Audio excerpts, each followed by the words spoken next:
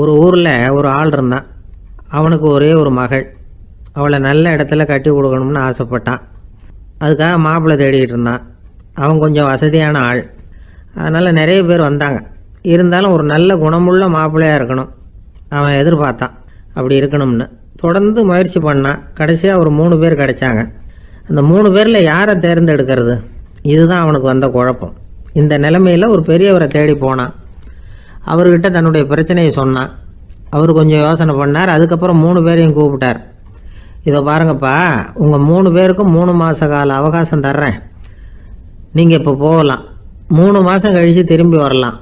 அப்படி வரும்பொழுது இந்த மூணு மாத காலத்தில் நீங்கள் செஞ்ச நல்ல காரியம் ஏதாவது ஒன்று சொல்லணும். அதை வச்சு உங்களில் ஒருத்தரை நாங்கள் வந்து தேர்ந்தெடுத்துக்கிறோம் அப்படின்னு சொன்னாராம். மூணு பேரும் சரின்னு சொல்லிவிட்டு திரும்பி போயிட்டாங்க. மூணு மாதம் ஆச்சு. அதுக்கப்புறம் ஒரு நாள் திரும்பி வந்தாங்க. அவர் அவங்கள கூப்பிட்டு உட்கார வச்சார். அப்புறம் கேட்டார் இப்போ சொல்லுங்கள் இந்த மூணு மாத காலத்தில் நீங்கள் செஞ்சுருக்கிற ஏதாவது ஒரு நல்ல காரியத்தை சொல்லுங்கள் அப்படின்னார். முதல்ல ஒருத்தன் எழுந்திருச்சு நின்னான். ஐயா எங்கள் அப்பா இறந்த பிறகு அவரோட கணக்கு வழக்குகளை எடுத்து பார்த்துக்கிட்டு இருந்தேன். அவர் ஒரு வியாபாரிகிட்ட பத்தாயிரம் ரூபா கடன் வாங்கியிருக்கிறதாக எழுதியிருந்தார். அந்த வியாபாரியும் இப்போ உயிரோட இல்லை. இருந்தாலும் அந்த வியாபாரியோட மகனை தேடி கண்டுபிடிச்சேன். கணக்கு புத்தகத்தை காட்டினேன். எங்கள் அப்பா உங்கள் அப்பா கிட்ட பத்தாயிரம் ரூபா கடன் வாங்கியிருக்கிறதாக இதை எழுதியிருக்கிறார். அதனால் அதை திருப்பி கொடுக்கறதுக்காக வந்திருக்கிறேன். இந்தாங்க அந்த பணம் அப்படின்னு சொல்லி கொடுத்துட்டு வந்துட்டேன் அப்படின்னு நானும். இதை பெரியவர் கவனமாக கேட்டுக்கிட்டார்.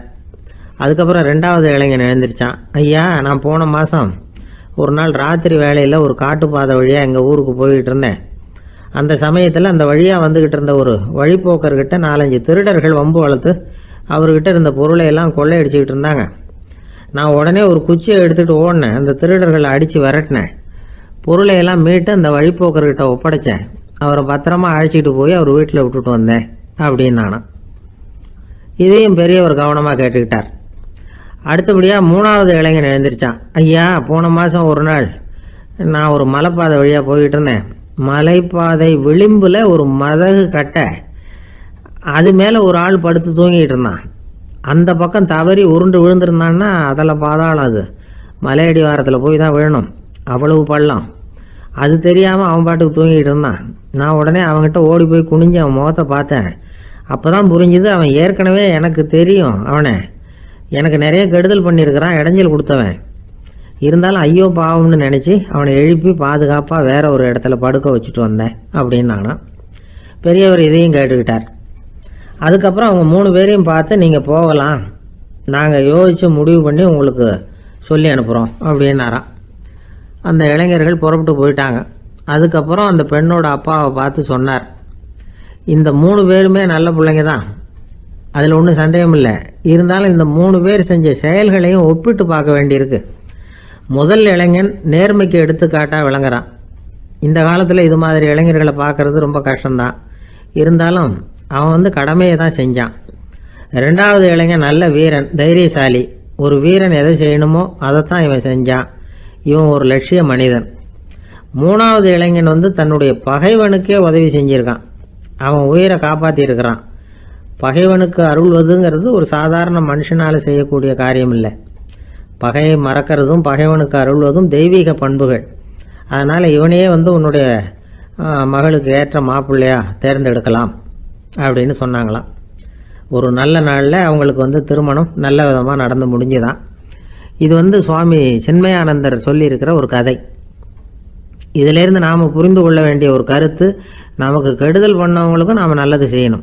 ஆனால் நடைமுறையில் அப்படி நம்மால் செய்ய முடியறதில்ல. அதுதான் சிக்கல். நம்மால் ஒருத்தங்கிட்ட கேட்டேன் ஏண்டா உன்னுடைய பகைவன் ஒருத்தன் அது மாதிரி ஒரு மலைப்பாதை மதகு கட்டையில் படுத்திருந்தா உடனே நீ என்ன நினைப்ப? அப்படின்னு கேட்டோம். இது ஒரு அருமையான சந்தர்ப்பம்னு நினைப்பேன். அப்படின்னா எதுக்குன்னு கேட்டோம். அவனை அந்த பக்கமாக உருட்டி கீழே தள்ளுறதுக்கு அப்படின்னா.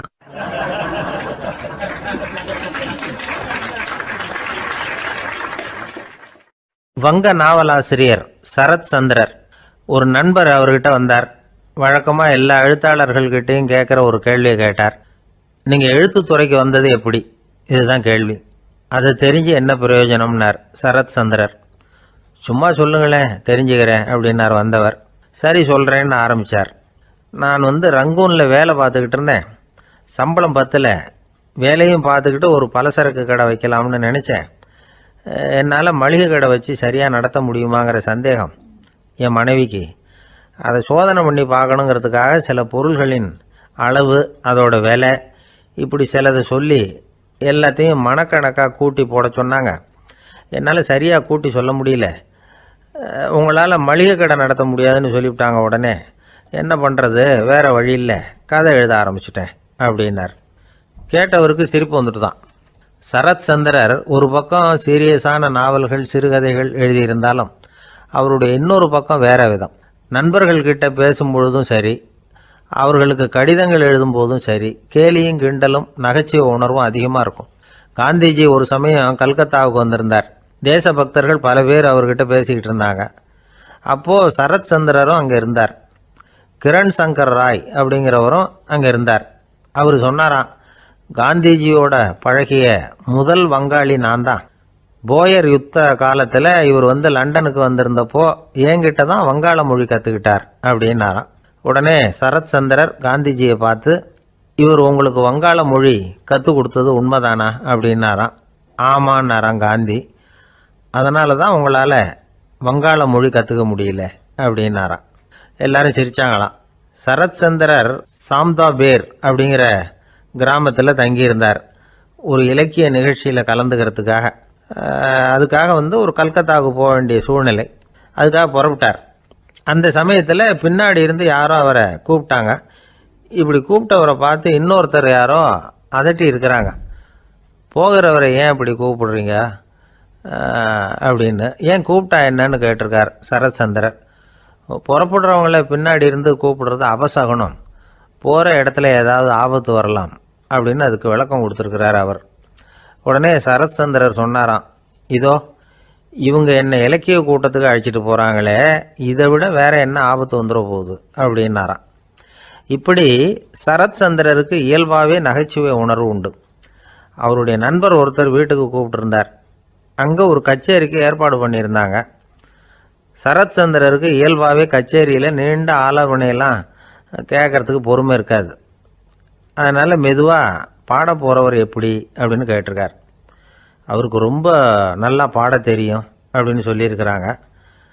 அதுக்கு சரத் சந்திரர் பாடத் தெரியுங்கிறது சரி பாட்டை நிறுத்த தெரியுமா? அதை சொல்லுங்கள் முதல்ல அப்படின்னாராம்.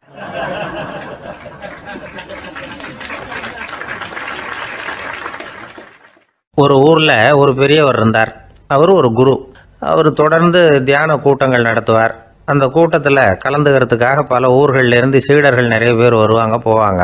ஒரு நாள் அங்கே கூட்டம் நடந்துக்கிட்டு இருக்குது. அந்த சமயத்தில் சீடர்களில் ஒருத்தன் என்னத்தையே திருடி விட்டான். மற்ற சீடர்கள் அதை கவனிச்சுட்டாங்க. இவன் ஆப்பிட்டுக்கிட்டான் கூட்டம் முடிஞ்ச பிற்பாடு இவன் திருடின விஷயத்தை அந்த பெரியவர்கிட்ட போய் சொன்னாங்களாம். அவர் கவனத்துக்கு கொண்டுகிட்டு போனாங்க. ஆனால் அவர் இதை காதிலே போட்டுக்கல கண்டுக்கவே இல்லை. போய் சொன்ன சீடர்களுக்கெல்லாம் ஏமாத்தமாக போயிட்டுது.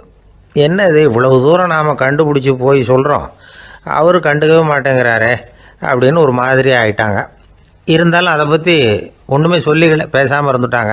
கொஞ்ச நாள் ஆச்சு. அதே ஆள் மறுபடியும் ஒரு திருட்டில் மாட்டிக்கிட்டான். சீடர்கள் மறுபடியும் அந்த குரு விஷயத்தை சொன்னாங்க. அவர் அப்பவும் வழக்கம் போல் சும்மாவே இருந்துட்டார். இவர் இப்படி இருக்கிறத பார்த்ததும் அந்த சீடர்களுக்கு கோபம் வந்துட்டுது. உடனே அந்த சீடர்கள்லாம் ஒன்று கூடி பேசினாங்களாம். எல்லாருமா சேர்ந்து ஒரு விண்ணப்பம் தயார் பண்ணாங்க. அதை குருநாதர்கிட்ட கொண்டுட்டு போய் கொடுத்தாங்க. அந்த விண்ணப்பத்தில் இவங்க என்ன எழுதியிருக்கிறாங்க தெரியுமா? குருநாதர் அவர்களே உடனே திருடனவன் மீது சட்ட நடவடிக்கை எடுக்கணும் நீங்கள் அப்படி அவனை இங்கே சேர்க்கக்கூடாது நீங்கள் சேர்த்திங்கன்னா நாங்கள் இங்கே இருக்கிறத பற்றி யோசிக்க ஆரம்பிச்சிருவோம். அவனை வந்து இந்த மடத்தை விட்டே துரத்தி பண்ணணும் நீங்கள் அவனை வெளியில் அனுப்புங்க.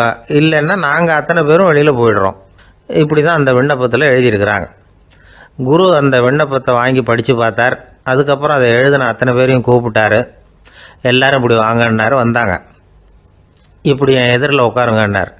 உட்காந்தாங்க அப்புறம் சொன்னார் இதை பாருப்பா நீங்கள் எல்லாரும் புத்திசாலிகள். உங்களுக்கு எது நல்லது எது கெட்டதுங்கிறது நல்லா தெரியும். நீங்கள் மேற்கொண்டு ஏதாவது படிக்கணும்னு நினச்சா வேறு எங்கே வேணும்னாலும் போகலாம். அதுக்கு நான் தடை சொல்ல மாட்டேன். ஆனால் உங்களால் குற்றம் சாட்டப்பட்ட அவன் இருக்கானே அவன் எப்படின்னா அவனுக்கு எது நல்லது எது கெட்டதுங்கிறதெல்லாம் தெரியாது. அதனால தான் திருடுறான். நீங்கள் சொல்கிறது மாதிரி அவனை அடித்து துரத்தி விடுறோம்னு வச்சுக்கோங்க. அவனுக்கு எப்படி நல்லது கெட்டது தெரியும்? அவனுக்கு அதை யார் சொல்லி கொடுக்கறது? அதனால் இங்கேயே இருக்கட்டும் அதுதான் சரி.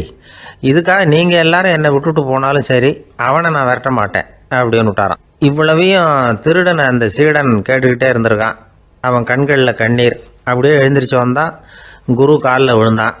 அவன் கண்ணீரில் அவனது தீமை கழுவப்பட்டது அப்படிம்பாங்க. அதாவது சீடர்களுக்கு அந்த குருவோட பெருமை அப்போ தான் புரிஞ்சுதான். ஒரு நல்ல ஆசிரியர் இருக்காருன்னு வச்சுங்க நல்லா படிக்கிற பையனுக்கு தான் பாடம் சொல்லி கொடுப்பேன்னா அது என்ன பெரிய விஷயமா? மோசமாக படிக்கிறவனையும் மாற்றி காட்டுறேங்கிறது தான் பெருமை. இந்த காலத்து குரு ஒருத்தர் ஒரு ஆசிரமம் வச்சு நடத்திட்டு வந்தார். நிறைய பேர் தினம் வருவாங்க போவாங்க. ஒரு நாள் ஒருத்தன் வந்தான். அந்த குரு முன்னாடி போய் நின்னான். ஐயா என்ன உங்கள் சீடனாக ஏற்றுக்கணும்னா அந்த குரு நிமிந்து பார்த்தார். உன்னுடைய நோக்கம் என்னன்னு கேட்டார். ஐயா உங்ககிட்ட கொஞ்ச நாள் இருந்தேன்னா நல்ல பழக்க வழக்கங்களை கற்றுக்கலாம் அதுக்கப்புறம் வெளியில் போய் ஒரு நல்ல தொழில் தொடங்கி வாழ்க்கையில் முன்னுக்கு வரணுங்கிறது தான் என்னோட நோக்கம் அப்படின்னா. நீ சொல்கிறது சரி. ஆனால் உன்னால் இங்கே நல்ல பழக்க வழக்கங்களை கற்றுக்க முடியலேன்னு வச்சுக்கோ. அப்போ என்ன பண்ணுவேன் அப்படின்னு கேட்டார் அவர். அப்படி ஆச்சுன்னா என்ன? உங்களை மாதிரியே ஒரு ஆசிரமம் ஆரம்பித்து அதுக்கு குருவாக இருந்துட்டு போகிறேன் அப்படின்னு நானும்.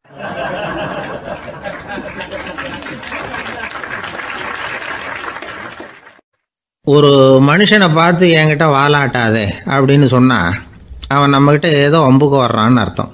ஒரு நாயை பார்த்து யாரும் என்கிட்ட வாலாட்டாதே அப்படின்னு சொல்கிறது இல்லை ஏன்னா நாய் வாலாட்டுனா அது நம்மக்கிட்ட தன்னுடைய நன்றியை தெரிவிக்கிறதாக நினச்சிக்கிட்டு இருக்கிறோம். ஆனால் அது அப்படி இல்லை அப்படின்னு சொல்கிறாங்க அது சம்பந்தமான நிபுணர்கள். ஒரு நாய் தன்னுடைய வாழை இந்த பக்கமும் அந்த பக்கமுமா இப்படியும் அப்படியும் ஆட்டிக்கிட்டு இருந்தா அது வந்து பதட்டத்தில் கூட இருக்கலாம். நாய் நட்பாக இருந்தாலும் வாலாட்டும் ஆத்திரத்தில் இருந்தாலும் வாலாட்டும் கோபத்தில் இருந்தாலும் வாலாட்டும் குழப்பத்தில் இருந்தாலும் வாலாட்டும் மகிழ்ச்சியாக இருந்தால் கூட அது வாலாட்டும். அதை நாம் வந்து தப்பாக புரிஞ்சுக்கிட்டு அதுக்கிட்ட போய் மாட்டிக்கக்கூடாது நாயை பற்றி எனக்கு நல்லா தெரியும் அப்படின்னு சொல்கிறவங்க கூட அதுக்கிட்ட கடி வாங்கிட்டு வந்து நிற்கிறது உண்டு. நிபுணர்கள் என்ன சொல்கிறாங்க தெரியுமா? எப்போவுமே நாய்கள் திடீர்னு வந்து கடிச்சு விடுறதில்ல. கடிக்கிறதுக்கு முன்னாடி சில அறிகுறிகளை காட்டும். அதை சரியாக புரிஞ்சுக்கிட்டோம்னா தப்பிச்சுக்கலாம். ஒரு வீட்டுக்கு போகிறீங்க அங்கே புதுசாக ஒரு நாயை பார்க்குறீங்க உடனே அதுக்கிட்ட போய் குனிஞ்சு சிரிச்சுக்கிட்டே அது தலையில் தட்டுறீங்க. இது ரொம்ப தப்பான் ஒரு நாய் இன்னொரு நாயை நேருக்கு நேர் பார்த்து பல்ல காட்டுனா அது தன்னுடைய தன்முனைப்பை காட்டுதுன்னு அர்த்தமாக உன்னை விட நான் பெரியவன் அப்படின்னு சொல்லுதுன்னு அர்த்தம். அதனால் நீங்கள் அது மாதிரி கிட்ட போய் சிரிக்கிறோம் அப்படின்னு நினச்சிக்கிட்டு பல்ல காட்டினா உங்களையும் எதிரியாக நினச்சிரும்.